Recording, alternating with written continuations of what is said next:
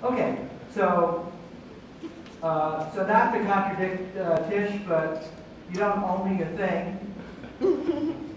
I enjoyed uh, everything I did uh, in my career and still am enjoying it. I didn't invent computing. But I think from the standpoint of what it means to uh, be professionals, what it means to love our field and its potential, uh, we owe it to the world to do a lot better than what has been happening, uh, many things that have been happening over the last 30 or 40 years or so.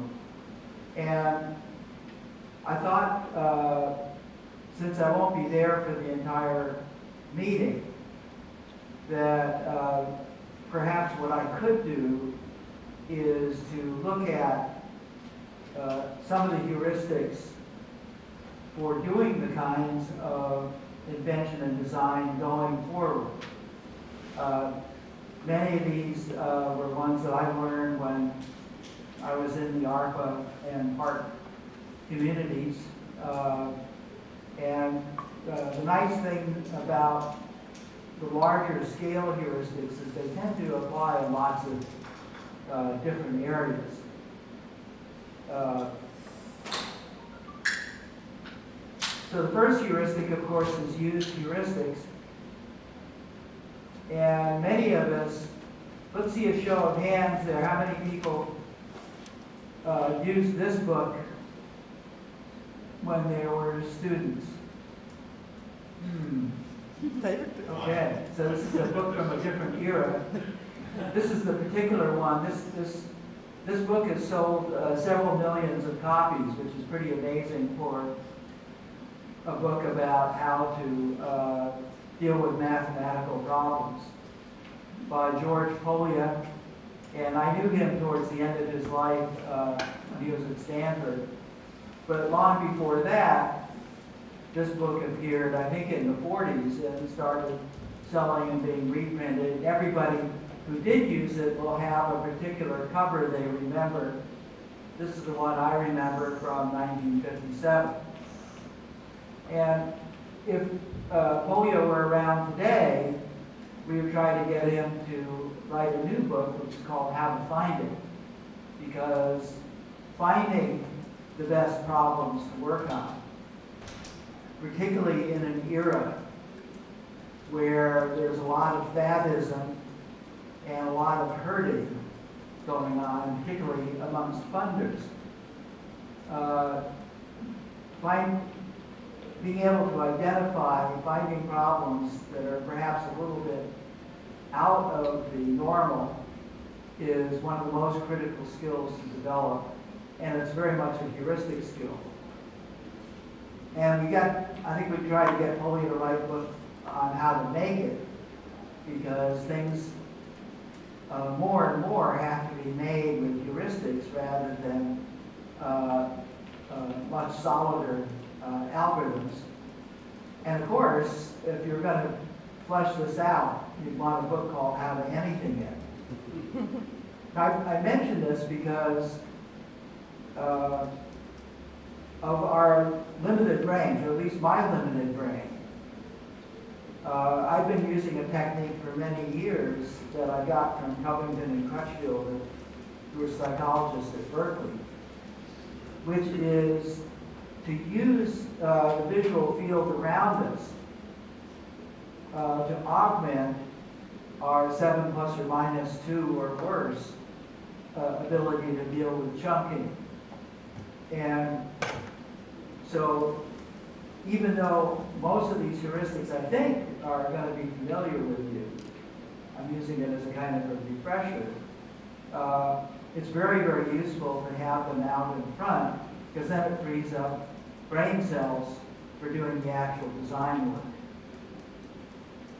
And so here's a, my original plan for this talk is I wrote down a bunch of general heuristics for doing design and thinking and inventing and stuff. And actually many more of these, but these are the ones that fitted here. My plan was to expand a few of these and especially to uh, concentrate in this talk on one of these heuristics, which is called 10 things.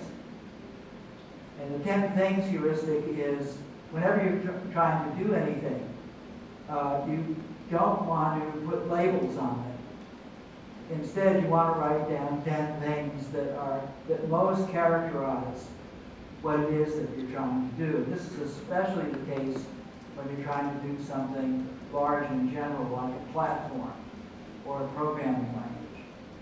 Uh, and in fact, what, what happened is I got entranced by uh, a different heuristic, uh, the Marvin Minsky one, you don't understand something if you only understand it one way. So the heuristic is you should try and always try and understand things more than one way. And I flushed out some of these general heuristics at the expense of my 10 things. So I only treated a few of the 10 things uh, towards the end of this end of this talk. And here's something that we know that it's the simplest use of heuristics uh, in problem and goal uh, solving. And what Polya's book is mainly about is some of the heuristics miss, some of them get part of the thing. Eventually, you can cover the problem that you're working on, and that might allow you to find a more elegant solution. But the heuristics are what get you to uh, understanding uh, this particular goal you set for yourself. But a much bigger idea is this idea that heuristics can come from making. And those of you who are familiar with the way TCP IP actually works will know that it is actually not algorithmic, but a collection of a, uh, six to eight heuristics that deal with all the various problems. And together those heuristics uh, guarantee that eventually uh, a packet will get through. These, of course, are simpler on the Ethernet. But this is a big idea. When we were working on the Internet and Ethernet a long time ago, uh, in the 70s, uh, this idea came up that, wow, there's, a, there's kind of a new mathematics lurking somehow uh, that should tell us how to organize covering heuristics. So new heuristics can be added old heuristics can be taken out. And the covering we get from those should somehow be figured out by the mathematics, not just empirically. Uh, as far as I know, this is something that's yet to be worked on. Uh, during the period of expert systems, it was worked on quite a bit, but then expert systems got done away with in terms of working on the simpler problems of doing machine learning. Then the big deal, as I mentioned, is problem finding. And here it's a much more laborious uh, process, similar to the others, except that you don't know what the problem is. You don't know what the goal is that you're looking for. And that brings up another heuristic, which is that most ideas are mediocre down to bad. So this is a really good one to always have in mind. Uh, because as human beings, we tend to be so gratified and happy when we have any kind of idea. We start acting as though it might be a good idea. Whereas in fact, 99 out of 100 ideas are at best mediocre, and most of them are really bad. So we have to have something to do with all those ideas because we have to let them happen. And the bigger heuristic here is don't leap into problem solving even though that's what you were taught in school until you work to find the great problem. This was the key to the research community, the ARPA PARC research community I was in. They almost never worked on problems that were easy to solve. And so they were going against an entire lifetime of being in a regular human society, and especially regular human schools, where the idea is to get the A. And if you think about it, getting an A means you're working on fairly easy problems, most of them have been solved before, and you're basically uh, limiting yourself by staying away from the ones where uh, the work you would hand in is work in progress. I was very lucky when I got my PhD. The head of uh, the computer science department at Utah in the 60s, David Evans, uh, said, well, if you're working on a medium-sized problem, you should finish it. But if you're working on a really big problem, uh, just write up two years of world-class work and I'll sign it. Because he realized you can't uh, solve huge problems in just a couple of years, and he didn't want people to stay in grad school forever. And so he allowed his graduate students to work on enormous problems. Mine, mine was personal computing. Uh, and of course, I didn't get done. I've been working on it for the rest of my life. And this piecing together the problem is a bit like the problem of the elephant, which we all know about. All of the blind philosophers here have their own opinions, and for most people that leads to war, kind of like the opinion wars that we have right now. And people will not give up their opinions, and so when a compromise is made, it's usually made by uh, pasting together the opinions. And I think we can all agree that a lot of the software and general systems today have that uh, appearance of just being uh, pasted up stuff without a lot of overall design or a lot of thinking about what things should be. But the methods of science allowed uh, scientists to figure out what the Earth would look like from space uh, in the 17th and 18th centuries to the point that when we went out there uh, and looked back and took a picture of the Earth that looked just like the globes that uh, the, had been figured out by putting together evidence and cooperating on measurements and all of that stuff. So these blind philosophers can figure out that this is a document, uh, but still, maybe there's more. I just love this cartoon. I had it a few years ago, and then I lost it. I couldn't find it again, and it, it finally turned up. And the deity here says, well, no, not exactly. Not exactly, no. And so this is, I think, the essence of where design is importantly different from doing science and engineering. It overlaps in many ways. But in fact, design is in large part about the not exactly part. And there was a great Japanese poet in the 17th century that had perhaps a simpler way of thinking about this. And this is uh, Masahide, who said in one of his uh, poems, the barn burnt down, but now I can see the moon. I just love that because we are so attached to the stuff that we've got. We would feel lost if the barn burned down, but he realized, oh, I, uh, the moon is much uh, better for me to contemplate and think about than the barn was. I wish I could do both at the same time. And so this gives us some more uh, heuristics because one of the ways of thinking about the now is it's so vivid it's so full of uh, what appears to be reality. And it has a very defined past. It is so vivid and so distracting, it's very hard to think about anything else. And so most of the stuff that people do when they try to make an improvement is just an incremental improvement. The genre isn't changed something that assumes some uh, false idea, like the idea that Darwinian processes optimize.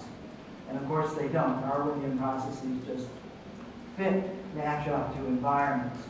If you have a stupid environment, you're going to wind up with stupid matchups. And so if you do this barn burning idea and get to see the moon, now it's dark.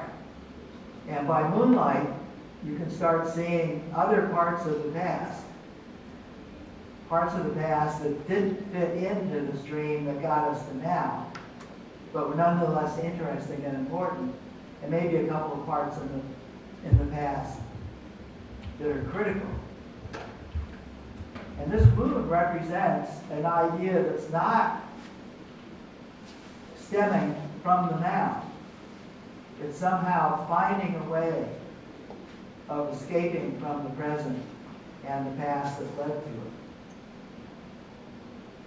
And then this idea and the ideas that help us think about it give us the opportunity to live in this future. And we have to do that in order to invent it. This is kind of paradoxical, because we have to build this future in order to live in it, in order to invent it. And so this idea is you have to somehow get a beachhead out there. You have to start building, and you have to build in that context, and that context will help you understand what to build. This is what the ARPA PARC process was actually about. And think about it, one of the implications here is if it's about computing, you better not build this future using computers today. Because computers today represent not just the present, but the past. And so you have to be very, very careful about how much you think you're going to save by using current day hardware. Uh, the ARPA PARC community uh, built all of its hardware and software. This was a serious group, and they were seriously about a real future. And so they were able to bypass uh, vendors almost entirely at the expense of having to do all this work themselves, but it paid off in a, in a big way.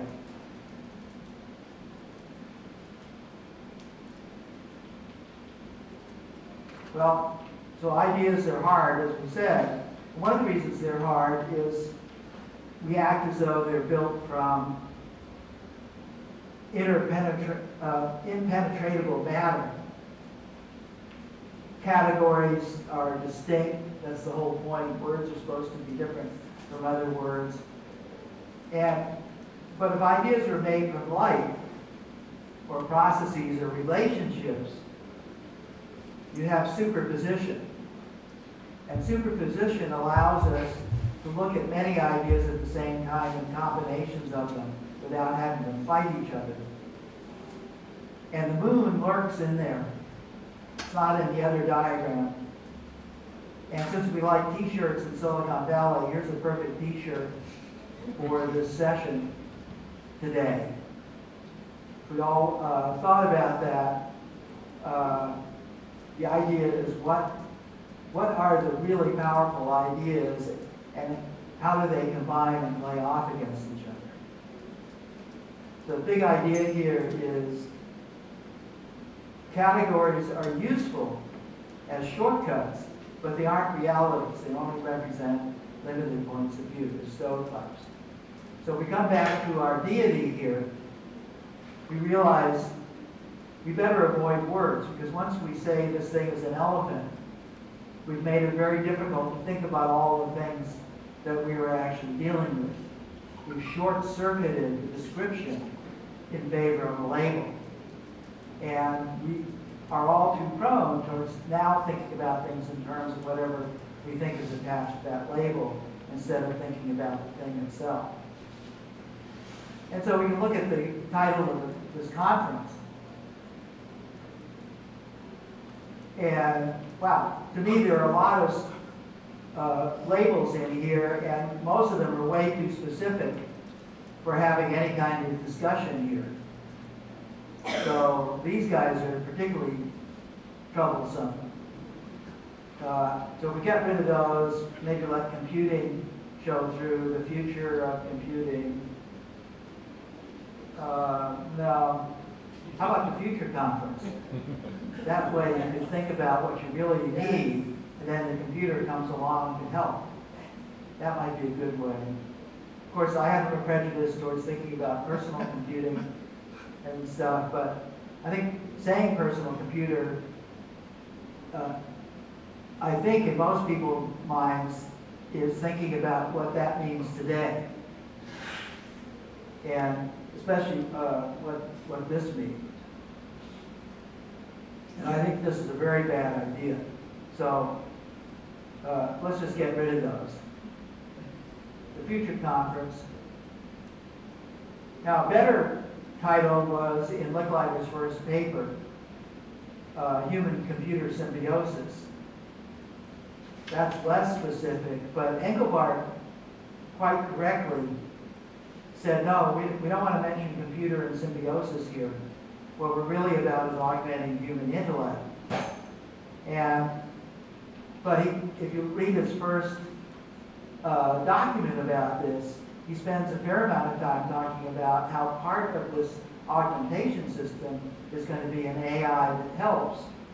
And so what he really should have said was an aug augmenting intellect because uh, this is the very thing that machine, machine learning doesn't have today. It isn't an intellect. It desperately needs to be augmented. We shouldn't use it until it is augmented. And augmenting has a slight tinge of improvement, but to me it's not strong enough. So I've replaced this with a good goal is improving intellect.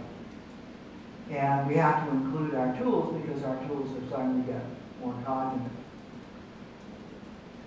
So that heuristic again. This stuff is, seems nitpicking, but it's really important because once you set your context, the context disappears, and then it's all about trying to win or trying to make something happen in the goals that those that uh, context sets up.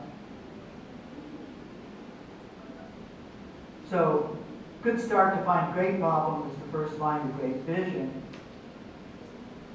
And again, these are hard to come by. So here's a curve in time. When it goes up, we're happy. When it goes down, we're unhappy, uh, and so forth. This could be reading scores in the U.S. You see this in the papers over many, many years. The problem is uh, they're never done relative to anything. So it's hard to understand, what does this mean? We're getting better in reading, we're getting not better. You put a, a threshold in there. Threshold for reading is fluent, the kid can fluently read. This is not happening with most children. And most adults can't fluently read. And so it doesn't matter whether this thing is going up or down. That, that threshold, what is, the threshold is called what is actually needed. That tells us whether we're just bullshitting around or whether we're actually accomplishing something. And so we can see this heuristic is that better and perfect are the enemies of what is actually needed. We have to hone in on what's actually needed. And I'm going to use the moon here as a symbol of that. We have to shoot for the thing that's most doable that is barely above this threshold. So instead of being in the pink, we're in the sky here.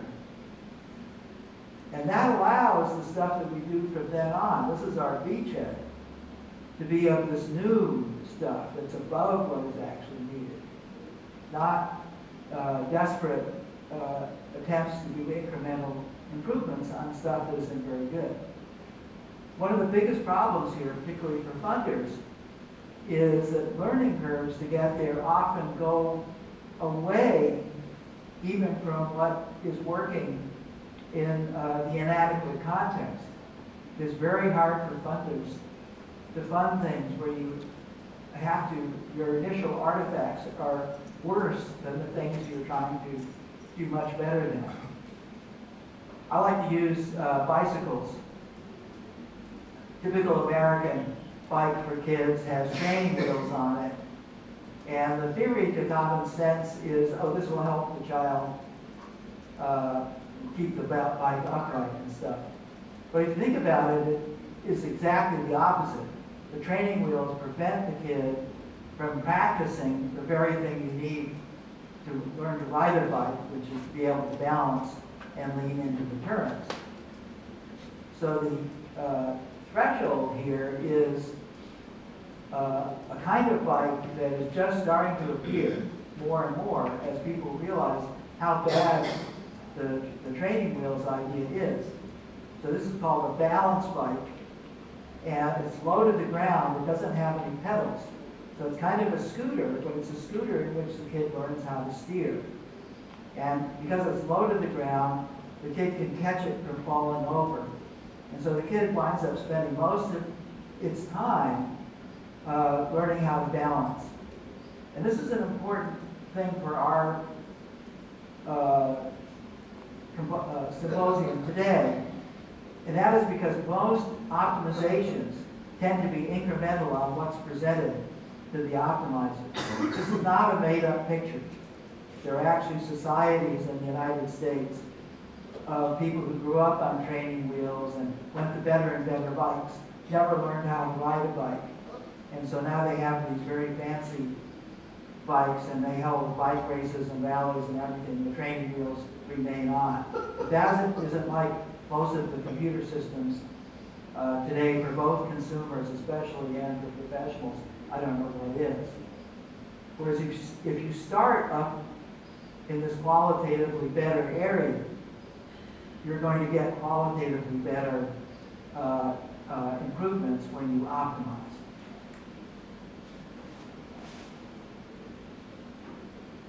And of course, we should do that to the title of this conference.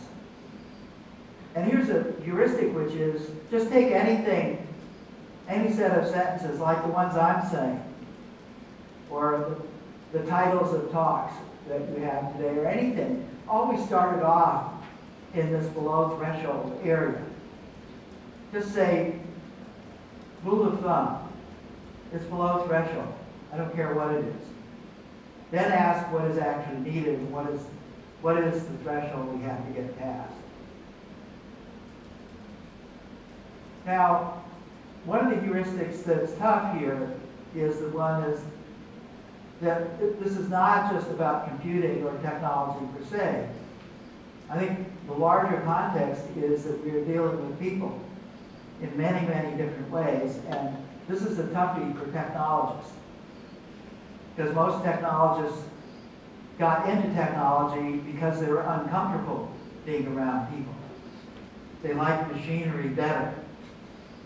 And, but yes, yes, Mr. Spock. And here's the Humans 101 heuristic. Hamlet means 7 plus or minus 2, means multiple-minded, means system 1, means culture. These are the cliff notes for getting through what is really a year-long or two-year-long course in anthropology. And the way it goes is our minds are like theaters. And they're very tiny theaters, really tiny. And we have different kinds of theaters. So we have a theater for our gestures and touch. We have a theater that's all about things we can see and configure. That theater deals with sound also. We have a theater for the symbols that we make up. We have many other theaters also. I'm just mentioning three here. System one is about all the parts of our brain that are set up for being able to do things quickly.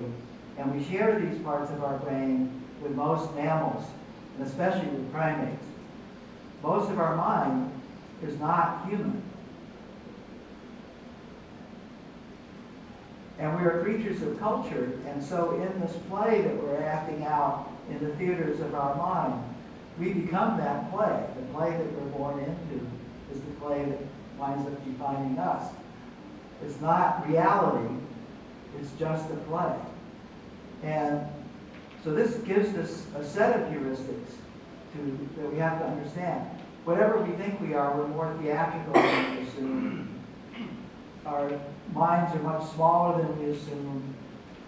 Our multiple mentalities are much more separate than we think they are. We're much more non-human than we assume, and we're much more culturally shaped than we think. And we just, this is a very large area, and I'm not going to go into it further. I'll just point out these three mentalities, which are identified by Jerome Bruner in the 60s, working off ideas by Piaget, and particularly the symbolic mentality are the ones that uh, important psychological theories can be built on. And user interfaces we still use today were built using this psychological model, plus some of the theatrical ideas that I've mentioned. So user interface is part of understanding how humans go about doing things. For example, our visual mentality is can be aware of about 100 things at once.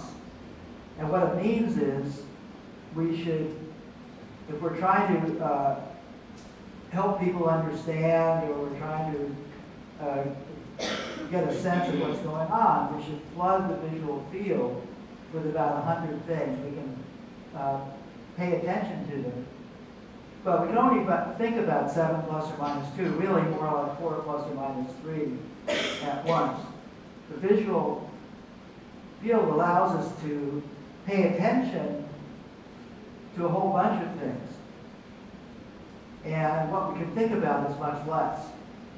And so these two ideas have to be played off against each other, regardless of the kind of design we do. It doesn't have to be about computers or user interface or anything.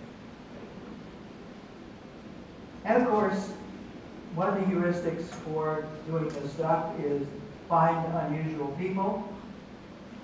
The good news is that these are easy in the sense that each generation, way up on the bell curve, uh, there will be a few hundreds out of a few hundreds of millions of people of really unusual people. So if it's pro football, get Brady. If it's Xerox PARC, get Butler. And if you need one in a million, there's going to be 200 of them. If You need one in 10 million, there'll be 20. Uh, having worked with Butler over many years, I would say he was rare, more rare than Tom Brady. But uh, Butler isn't the only uh, Butler around. Uh, but you need a couple of them if you're going to be successful. An important side heuristic is to make your organization, even if it's a small organization, also part of the process to create these special people. You find the potential just as you do in your problems and just as you do in the technical solutions you're starting to come up with. You have to find the potential in people. You have to build them into researchers.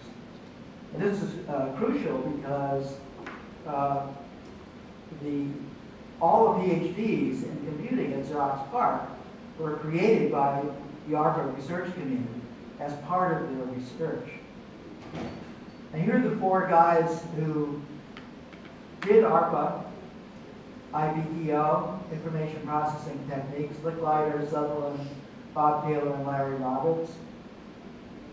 And in their interviews, uh, Lick said, well, I was just trying to get the best people I could find who are interested in this area. And Ivan said the people you want to get also want to choose their own problems and methods. That's a problem. Bob Taylor said my job is to organize things so when the lone wolves need to cooperate, they will. That's a real biggie. That was the secret of success to a lot of things that happened in ARPA and also Xerox PARC. And Larry Roberts pointed out that ARPA projects are one of the best sources for new ARPA researchers. Uh, let's keep on doing that. And of course, there's this problem. What are these people like? And some people think they're like this. This man right here is my great grandfather. He's the first cat herder in our family. Herding cats. Don't let anybody tell you it's easy. Anybody can herd cattle. Hoping to get their 10,000 half wild short hairs. Well, that's another thing altogether. Being is probably about the toughest thing I think I've ever done. I got this one this morning, right here. If you look at his face, it is ripped to shreds, you know? You see the movies, you hear the stories, it's,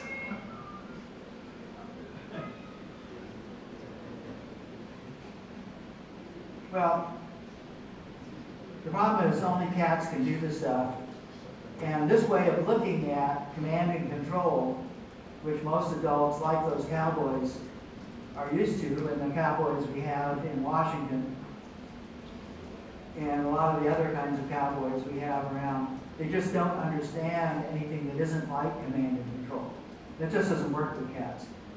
So I looked on the internet for uh, some people who can get cats to do uh, what they want, and here's a brother and sister, 12 years old and 11 years old, who solved this problem. have a jar filled with all the names of the toys we have sitting right next to us. And we're gonna, we'll take one to do it one by one, open up each toy. Alright, you like to go first? You put it in the jar? Alright. With a mouse on a spring. Ooh, I love this one. I love me too. See? It just types it right here. So there's this little mouse on a spring and it's going up and down and the cat is gonna try to catch it. Alright. Our cats really like having mouses, but they keep on tearing them apart because they had a mission. So, you know, there was Okay, I got it. This is this toy. Little mouse on the spring. So this way. What is this mysterious thing up George? Yeah. So you need to develop some feel for what cats like and, and want to do. The ultimate cat toy is a great vision. And here's one of the greatest ones, one I still uh, would put in my 10 things about what should come next. And here using words in a very special way. Computers are destined to become interactive intellectual amplifiers for everyone universally networked worldwide. He doesn't say how, doesn't say what an intellectual amplifier is. Uh, he doesn't say how to do the network. So this is a great uh, vision, and what a great vision does, is it acts like a magnet over the horizon. This vision just sits there and it lines up all of us iron particles. You don't have to communicate sideways at first. We all have our own way of getting to north here. That's what a great vision. And, and so the ultimate heuristic here is that the goodness of the results correlates most strongly with the goodness of the funders. If you don't have great funders, eventually it's going to come a cropper because research means you can change your mind. It's the most important thing to understand the difference between research, real research and engineering. Engineering, you have uh, a much more crisper set of objectives, but in research, you're finding out things all the time. And uh, often you find out that what you were looking for isn't the thing you should be looking for. Well, how do we get the great visions? And I think this is where uh, most of today's computer people fall way down. Because they're really just looking for uh, things they can sell to American consumers. A lot of these are the technological equivalent of sugar water. Or they might be simple aids, uh, things that can be sold into business and so forth. And I just don't think uh, you're going to get a great vision out of this.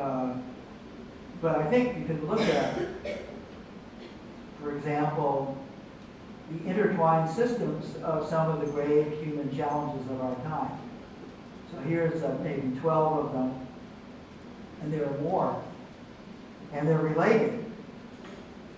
So if you pick a few of these that you particularly have emotional feelings about, these are half the moon in them.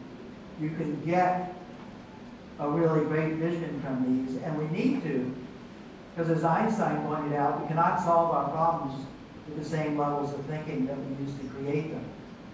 We have to get out of the levels of thinking. We have to do it to get a future that's not just incrementally derived from the present. But we also have to do it because we're messing up ourselves and our planet. I'm going to skip this one.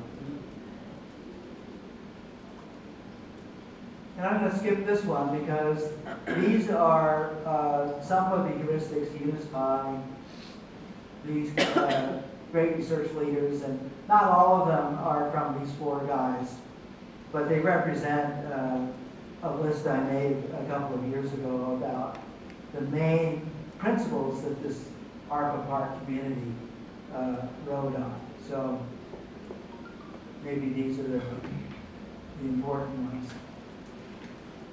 But now if we come back to the original plan for the talk. uh, So looking at 10 things here, I've really got time just to talk about a few of them. And I've already talked about destiny, that's, I would just take Licklider's notion of the destiny of computing are to become uh, interactive intellectual amplifiers, pervasively networked worldwide. Leave it with that, that's good enough for me. That would be one of my 10 things. Now for dimensions, there are more dimensions than three here.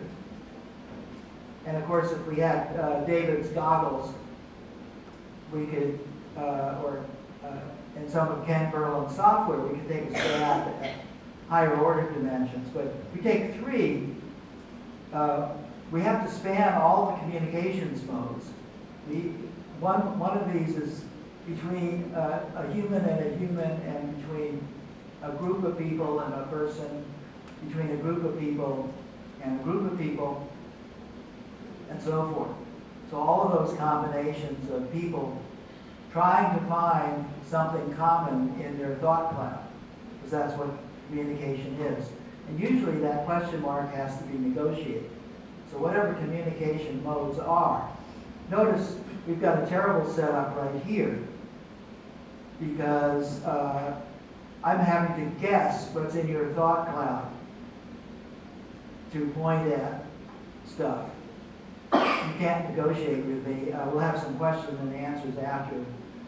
So this is a really weak way of doing it. Something that uh, we worked on in op doing operating systems, uh, programming languages, and the internet is hardware and software singly and together, uh, finding common ground and having common ground set up there. A really interesting one is the user interface problem, which is what is the common ground between humans and mechanisms. And one that you have to throw in there for completeness is all of these are about humans communicating with aliens. And I think in order to widen it out enough, you should throw in thoughts about real aliens here because they'll help everything else. So eight is, a, you, the, the thing that got my career going was after meeting Seymour Papert and realizing computing was much more important than just an adult tool. It was actually as important as the printing press, and therefore it had to be extended into the world of children, and you had to solve all of these problems for children, and all the way up to old people like me, and everybody in between. And then for expertise, we have the situation today where some children are more expert than some of the old codgers. Now for Engelbart 101, I can't do justice to it, so I'm going to take just one idea that I think is absolutely critical, uh, as critical or more critical today as it was back then. And we're all familiar with this. Set it up so I see it over like that, and it's in the corner up there, and I say, now computer, the automatic switching and reading camera, picture, the camera mounted on his console, such as the camera mounted on mine. I know. We're familiar with it because this is what we're doing right now, maybe. Except for the fact that that system that they're working on uh, is at the operating system level allows uh, sharing amongst any number of people. This is this picture of them having a meeting using this system. They're not just looking at stuff. Everybody has their own cursors. The cursors are independent. Things can be worked on separately. So even though the screens were small back then, their ideas were big. So the way they thought of this is everybody is in the same world. And to me, it's completely pathetic that 51 years after this demo, I don't know of a single operating system today in computing that uh, has this general facility of being able to share interaction on anything. that is done in that operating system. This is completely pathetic. The last chance people had to do something were perhaps the operating systems, uh, the iOS operating systems or Android. But in fact, the web browser people had a chance to do it because if they realized it was an operating system and not an application, then they could have thought about what, what should an what are the 10 things an operating system should do. But there's more to this.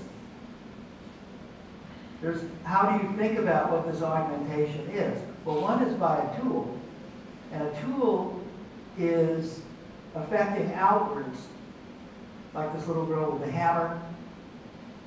The tool affects back. For one thing, it helps us get better at whatever we're doing. She gets better at hammering. But it also actually gives us a hammer idea. It builds a little hammer brain. So when she's an adult, maybe a Secretary of State or something, she might think of hammering somebody with a nuclear weapon to solve a problem. Uh, people today are thinking about using AI as a hammering to solve problems. Hammering things usually doesn't work that well except in limited range. But the problem is that the tools don't teach us very well. The tools teach us very limited versions of themselves. But there's another kind of tool, and that is a tool that builds inward. So this little girl is facilitating inner growth by uh, reading a book here, learning ideas she doesn't have, having multiple ways of looking at things. You can get help by an agent. Here's the kid's parents. And the agent has the problem that the more we use agents, the less we learn how to do ourselves. You have to be very careful with agents. And the problem is everybody likes servants. But here's a teacher facilitating internal growth, not playing the violin for the kid, but helping the kid learn how to play the violin. We can affect outward through teaming. But we can also set up activities that build us internally through teaming. So the Engelbart people thought about all of these modes way back in the 60s.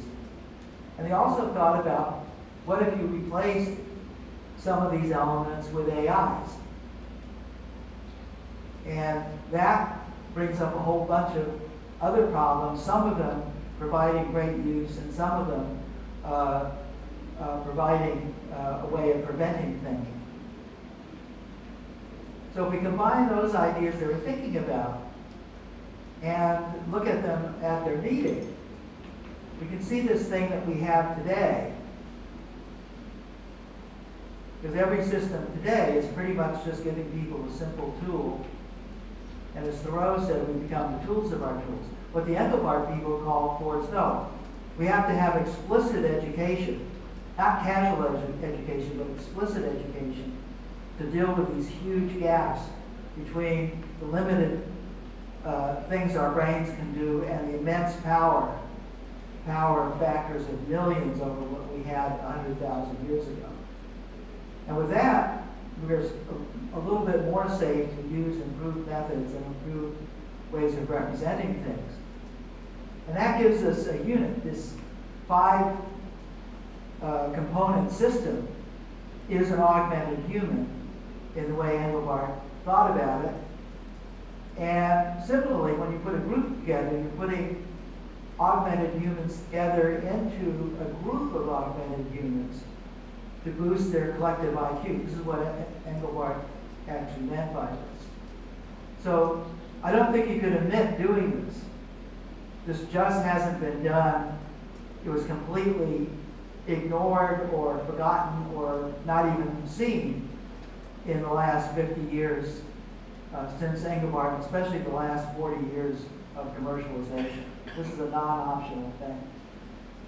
And just in passing, uh, because uh, the web was mentioned there, here's one of the great lost opportunities in personal computing history, the inability of World Wide Web people and the browser people to look at HyperCard and understand what it was and what it would mean to uh, the experience.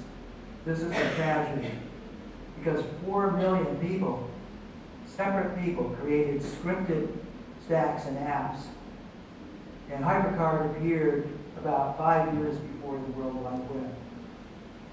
So this is something to ponder on. It's not too late to do it. It has, something like this has to be done in the next system. It Won't look like HyperCard, but it has to be, able to do the brilliant things in user interface that HyperCard is able to accomplish. Okay, let's take a look now at uh, one of the modern day Engelbarts, Bret Victor. Uh, Bret is large. I got so many ideas from him. Uh, this thing that you're looking at is a big poster. It's about five feet by eight feet, done at high resolution. And it's hard to see what the poster is about here because uh, part of the reason he did it as a poster and printed it on a high-res printer was to make the point that uh, the screens we're looking at, we've gotten used to, are much, much too small for doing any kind of serious thinking. Uh, and in fact, in order to look at any part of the poster, like this part, to see what it is, we have to blow it up to screen size. Oh yeah, so this is a NASA situation room, and he's making the point that if you're doing something complicated like a space flight, uh, you have to pay attention to everything that's going on. You have to have people paying attention, machines paying attention. You have to have processes that are combining various kinds of visualizations and ways of affecting things and, and so forth. And here, the, the, a room like this is asking questions like, where are we, what's been happening, what just happened, what's about to happen, what can we do, and so forth. But we can see that on this poster, as put on our tiny little computer screen here, we can't see what it is. And what that means is anything you're looking at on a computer screen is not showing you enough. It's not showing you what you want to look at, but remember our visual field, being able to pay attention to a hundred things. We have to show all of those other things also. Here's a power grid room, very similar. But if we look at a business decision room, or worse, the White House Situation Room, They've got uh, technology that looks like, sure I can even see pencils, but I can see paper. They've got coffee cups. They're talking about things uh, the way cave people would do around the fire. And in these situations, the answers to these questions are trivial and upsetting. Because there's a lot of power behind both of these rooms, and yet the processes for understanding what's going on and deciding what to do are terrible. Uh, here's a shot of the room that you're in right now. And let me point out that it is very darn close to those terrible business decision rooms. This room at the Computer History Museum was built as, as a meeting room, right, Tish? Yes, yes. It's not a meeting room. No, learning lab, sorry, this is the learning lab. Learning So- We go to another modern day Engelbart, uh, Dave Smith here. A thing he did for Lockheed is really interesting, which is to take something that is familiar, at least look, being able to look at each other's faces, and then the idea is to manifest the hundred things that are germane to what's being talked about and being able to isolate the ones that you particularly want to discuss at any particular time and isolate them as a kind of, uh, manifest them as a kind of an apparition that appears. This was done, David did this with glasses. It'll eventually probably be done with glasses. Uh, good enough glasses actually happen. But the basic idea here that humans are cultural, humans are social, humans do things together, humans need to be augmented, humans need to understand what's going on, humans need to play with things. All of these things here are wrapped up in this image. And of course, Bret acted on his three or four years of thinking by making a system out in the air, which is called Dynamicland. And so there are projectors everywhere and uh, video cameras. And so the video cameras are picking up what's going on in the physical world, and computer programs are making a making models that fit into the physical world, but are also uh, in the computer world, and they're superposed on this world. This I, the first time I ever saw this idea was from Nicholas Negroponte in the early 70s, when he pointed out that uh, not too far in the future, the entire world is going to have displays on everything. There will be displays on uh, cans, cans of tomato soup in the supermarket. And it's all going to be networked by the, by the internet. And so there's a really interesting problem of what, what does it mean uh, when you're actually living inside the computer. And this, this system is really worthwhile visiting. It's really worthwhile supporting if you're a funder. Uh, there are many more good ideas here than we've seen in decades.